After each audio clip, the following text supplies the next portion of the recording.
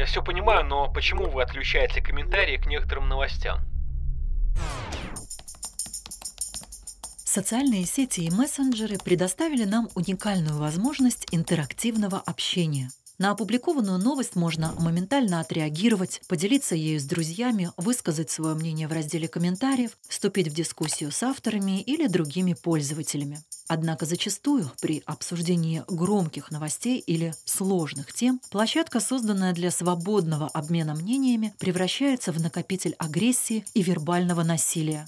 Вместо аргументации – дискриминация других пользователей по социальному, этническому, гендерному признаку. Знайте, что у вас есть право отправить жалобу на профиль человека, использующего язык вражды.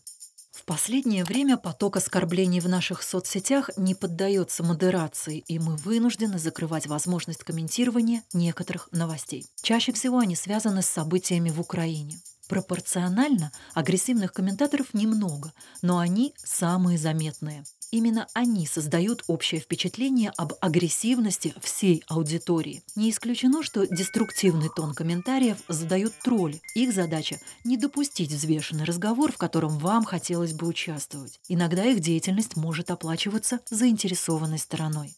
Мы призываем вас не поддаваться на провокации, уважать мнение оппонента, а свое отстаивать без проявления агрессии. Будем улучшать культуру интернет-дискуссий вместе.